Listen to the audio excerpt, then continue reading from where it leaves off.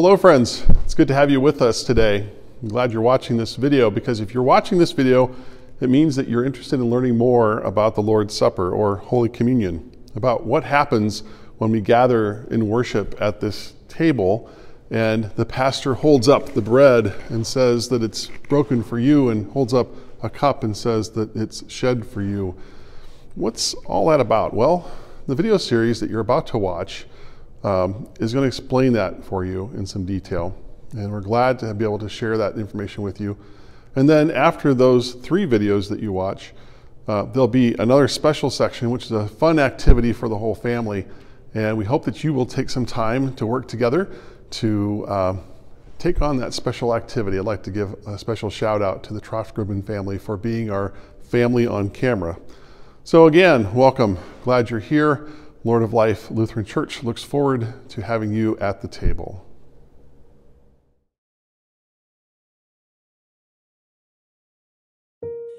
Hello, Sarah. Hi. I heard it won't be long before you start receiving Holy Communion at church. Is that true? Yep.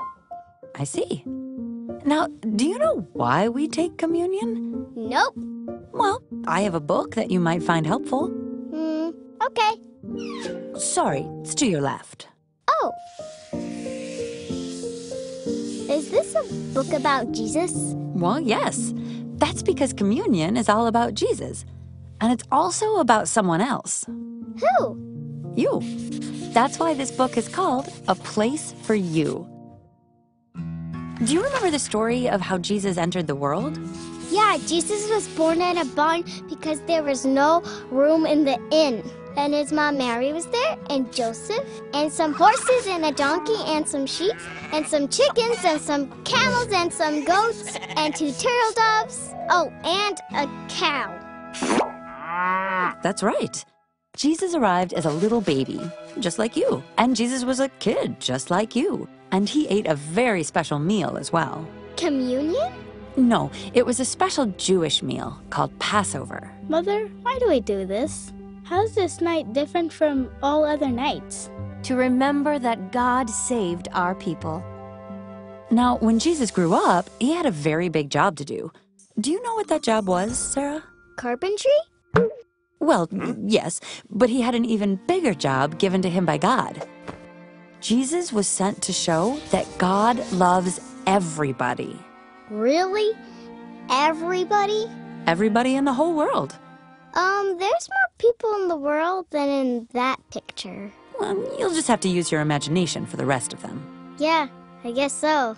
And while you're imagining Jesus loving everyone, don't forget to include someone very important. Uh, who? You, Sarah. Jesus showed God's love in many ways. He welcomed children. Let the little children come to me. He told stories about love. There was a man who had two sons. He taught about love. Love and do good to others, even those who hate you. Jesus made friends with people who were hated, made fun of, and not included. This made some people upset. Ugh, he's a Samaritan. Yuck. This makes me uncomfortable. Blessed are the poor. They also didn't like when he preached God's love for the poor and hungry. The poor? bah! Hmm. Or when he healed people. You are made well. Mm, I can't believe he just did that. And he forgave sinners. Your sins are forgiven. Thank you, Jesus. He can't do that. Can, can, can he do that? Well, he just did it. Ugh, they sure were crabby. Very crabby. Yeah, I get crabby sometimes. We all do. But why are they upset with Jesus for loving everyone? Well, because they thought God only loves some people. I'm upset. He makes me angry. He likes them. I don't like him. So, when did people start taking communion? We're getting to that. In Jesus' time, eating dinner with someone was very special. You are my friends. I want us all to be friends for the rest of our lives. Please pass the bread. Eating together was a way of saying to another person, I love you.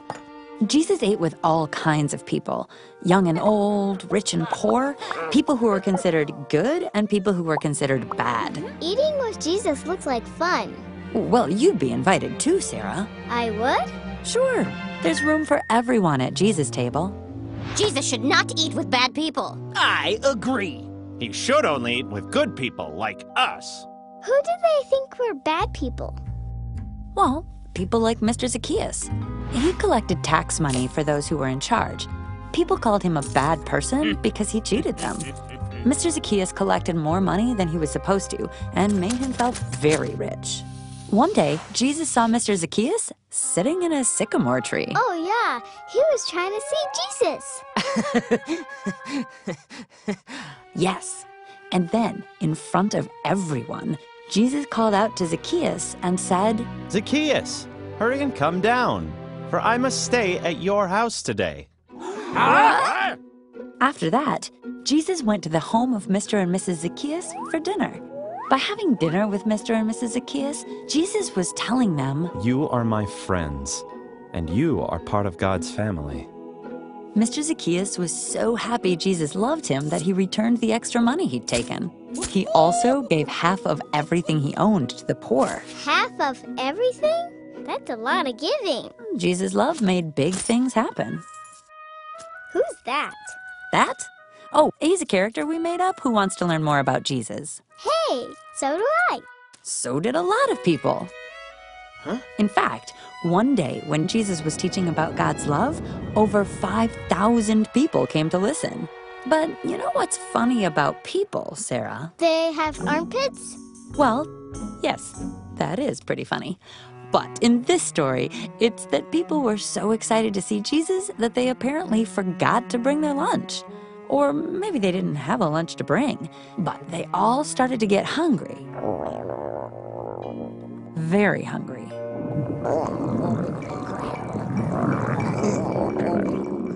So, did they order pizzas?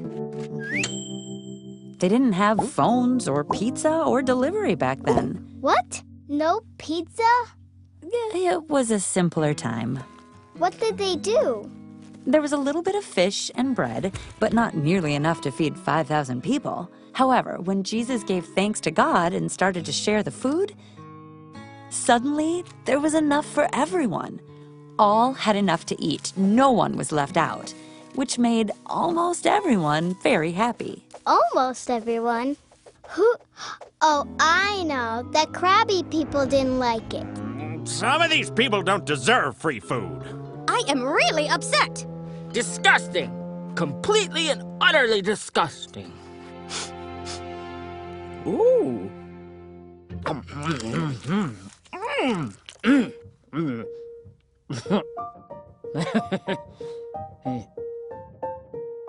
The leftovers filled 12 baskets, so there was more than enough food for everyone. Just like Jesus has enough love for everybody. Oh, I see someone is paying attention. But what about communion? Well, to understand communion, you first have to understand what Jesus was all about. So, communion is about sharing food and Jesus loving us? Huh. That's a good start, Sarah. That's a good start.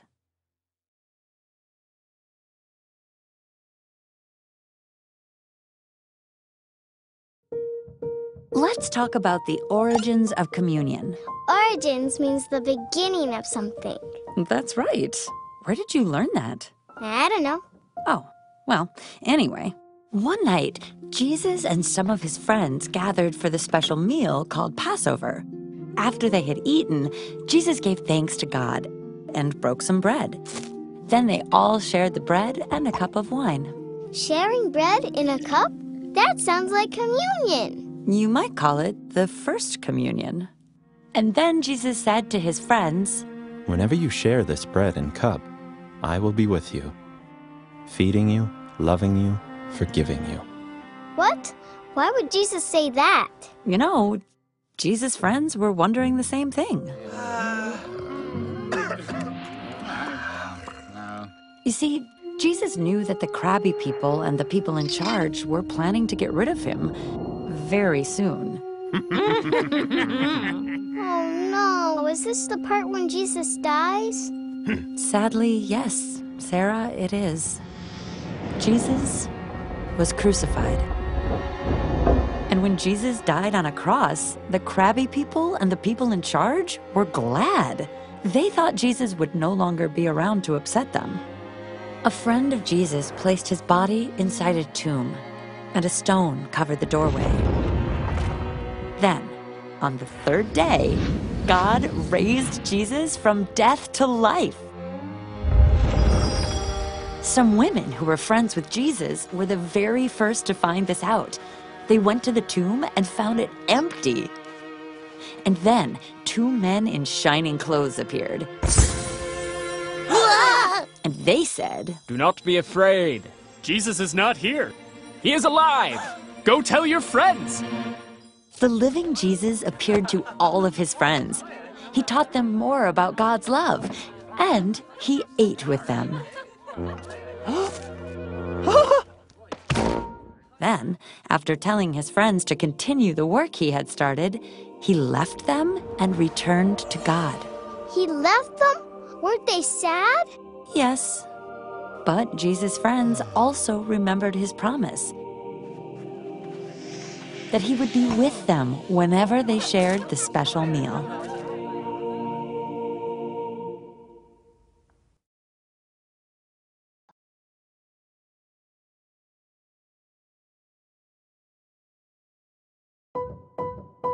After Jesus left, his friends began to meet in people's homes. They brought food for the special meal and for the poor. They sang songs, told stories about Jesus, prayed for the whole world, and shared greetings of peace.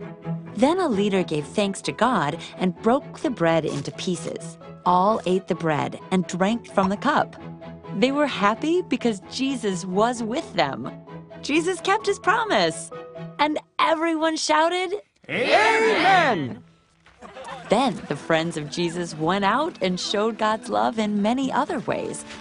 They brought bread to the sick and the poor, everyone who did not have enough to eat. They told everyone about God's love. God loves all of us. Are you sure? Yes!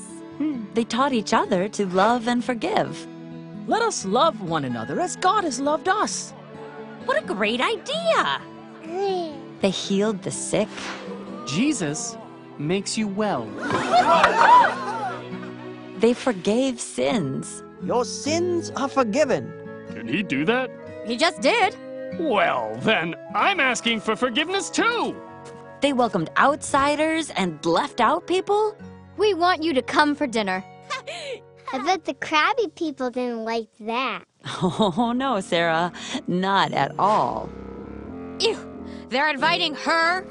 I thought we put a stop to this. Uh, it's like Jesus is back.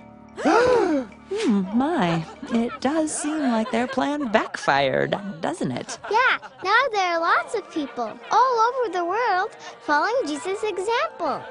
Well said, Sarah. And all of them spreading Jesus' message of God's love and welcoming others into Jesus' family. And being a part of Jesus' family means you have a place at Jesus' table. Hey, this is like dinner with my family. It is, but at Jesus' table has even more people at it. All kinds of people. Children and adults, babies and old people, poor and rich, people called good, people called bad, left out people, people with disabilities, people with big hair, people with no hair, darker skinned people, lighter skinned people, other kinds of people with different backgrounds, abilities, and interests. Everyone has a place at Jesus' table. The family of Jesus wants you to come. Come to the meal of Jesus. There is a place for you. What about my little brother?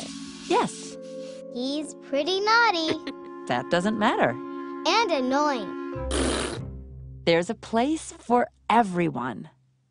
And when you share the bread and wine, be sure to give thanks for the family of Jesus which surrounds you, and give thanks for the promise of Jesus. You are a precious child of God. I will always love you.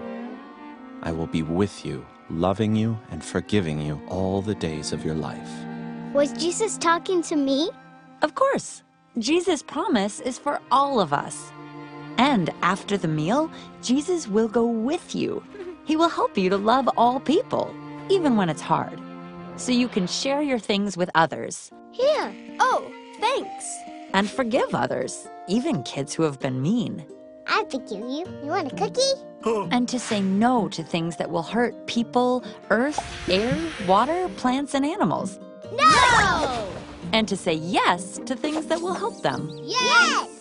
And to share food, clothes, and money with those who are in need, even if it means fewer toys, clothes, or things for yourself.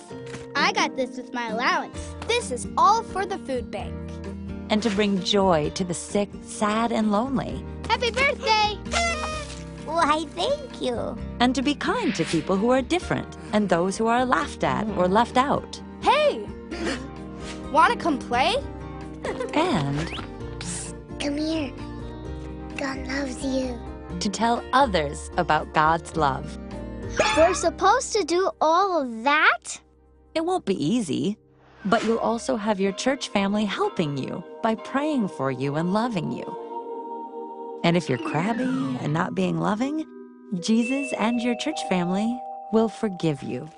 With Jesus and your church family, you will dream of a day when Jesus will gather all living beings together creatures that fly in the air, swim in the water, walk on the earth, and crawl underground. This joyful gathering will include people of every kind, both happy people and crabby people, who will no longer be crabby. All will be safe. All will have food. All will have a home. All will worship God. And all will know that Ooh, they're. I know. Go ahead. There's a place for you because God loves everybody, That's right. Even my little brother.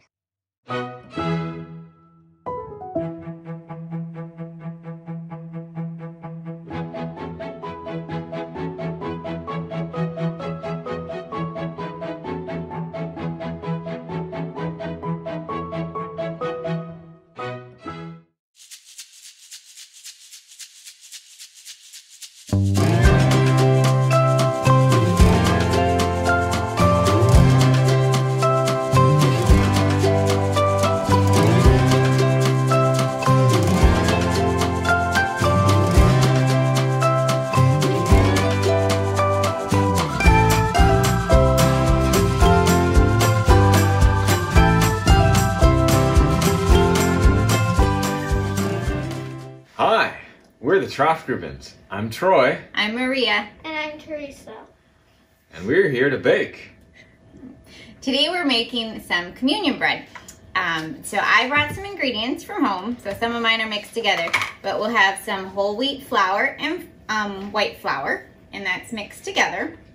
Um, we're gonna have some oil. We'll use some little bit of cooking oil. We'll use a little bit of salt, a little bit of baking powder, some honey to sweeten it up a little bit, a little bit of water, and some cooking spray, and that's it. So it's a pretty simple recipe. Um, doesn't require a lot and pretty tasty too. Um, so you start by measuring your flour. Again, some whole wheat flour and some white flour. I'm gonna dump mine into the bowl. You measured that beforehand. I did measure it, and I cut my recipe in half this time, so it's a little bit less. But so the next thing we need is some oil. I'm gonna do a tablespoon of oil. Teresa, do you wanna pour this in? Actually, you know what? We should do our. We'll wait on this. We're gonna have that there. We'll put our. Um, we're actually gonna mix all our dry ingredients first. So we'll do some baking powder. Tracy, you want to dump that in? And we'll do a little bit more. There we go. So there goes the baking powder, and then we're going to add the salt. Troy's got the salt. And we'll do a teaspoon of that. Tracy, you want to dump that in? There goes our salt. We're gonna mix our dry ingredients. You wanna mix for me? Stir them around. Get the baking powder and the salt all mixed in. Okay, that looks good. Um, now we can add our oil in. And then we can eat it? No, I don't think it would taste very good yet. We're gonna blend that oil into the flour. And then we're gonna do some honey. And we're gonna do, I'm gonna do a fourth a cup for this. And to make the honey come out of our measuring cup a little easier, I'm just gonna spray it with some cooking spray. You want to squeeze it in? That's quite a trick with spray. Yeah, well, makes the sticky stuff come out a lot easier. Once we get our honey, That's a sweet idea. yeah, once we get our honey into the measuring cup, we're gonna blend it into our water over here. How's it coming, Teresa? You need help squeezing? Takes a little bit. There we go. We got our honey. We're gonna mix that into our water. You wanna pour that in there? Okay. A little bit, last bits of honey out of there. Oh, and our, we did, I should mention, we preheated the oven to 375. That's another good idea early on. Yep, so that is heating up. We're gonna mix our water and our honey just a bit. Stir that around. And then we're gonna put it all together with our flour mixture. Dump that in. And we'll mix that up. You wanna stir it up? Start it up. It might be a little bit sticky, but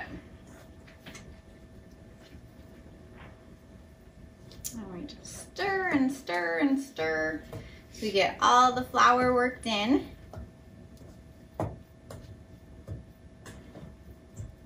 It's a little harder to stir. How's it going, Teresa? Good. Good. I'm going to take over so you can kind of see here it's flour is getting stirred in. Just keep working it and probably at some point you will have to get your hands a little bit messy to work all this dough together. So I think we'll do that. And if it's too dry, you can always add a little bit more water, which we might do here in a minute. We'll see. We can knead this flour in. We'll see if we get a little bit more of this in there. And so now it's soon time to be making it into our um, circles in the shape we have for our communion bread. I'm going to get just a touch more water quick. Pour that in bit dry.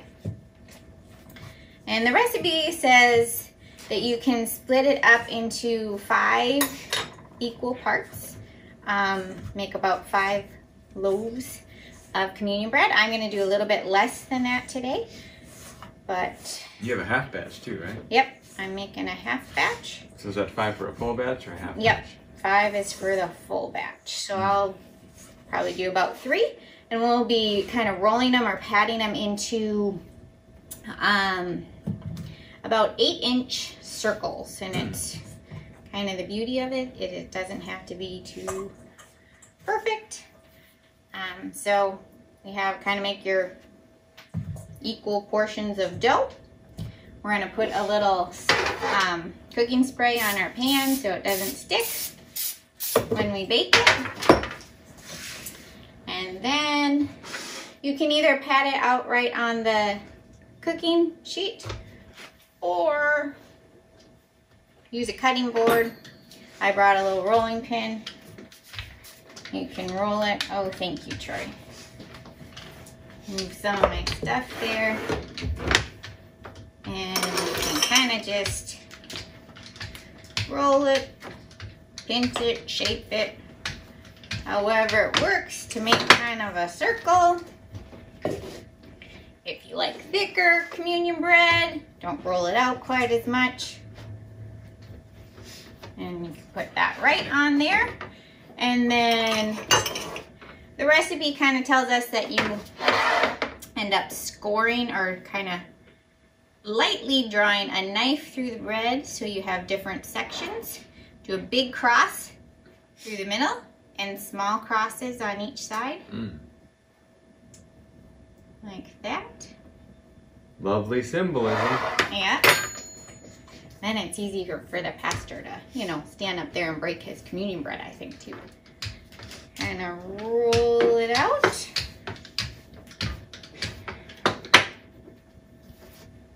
And put that one on there. Right.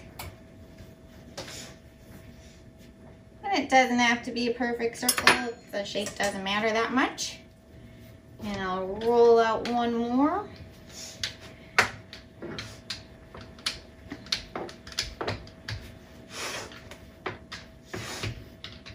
Hmm, I might have to find another baking sheet. Hmm. Thought maybe I could fit three, but not gonna happen. So,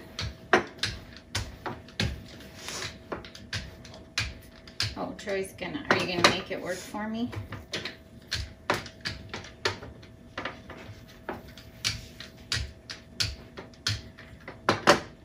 We'll see what we can do. We'll see if we can't sneak it in there. We'll go for it. Probably should have another sheet, but we'll make it work with our one. Draw our crosses.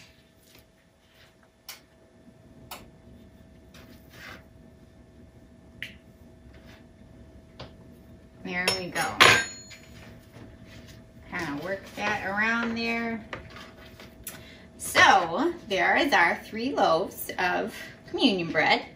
Pretty easy to make, and then we just take them to the oven and we'll put them in there for 15 to 20 minutes, and they should be good. All right, so after 15 to 20 minutes, you can check your oven and your bread should look kind of golden brown and ours is a little bent because we shoved it all on one pan, but there we go. And someone is excited about maybe trying some communion bread too. Yeah, me. But, yeah, and uh, some yummy loaves of communion bread you can make at home.